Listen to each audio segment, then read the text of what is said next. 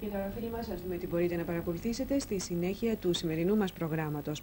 Αμέσω τώρα την εκπομπή Το Μικρό Σπίτι στο Λιβάδι. Στη συνέχεια, σε ζωντανή μετάδοση από τη Βουλή, τη συζήτηση για την παροχή ψήφου εμπιστοσύνη στην κυβέρνηση.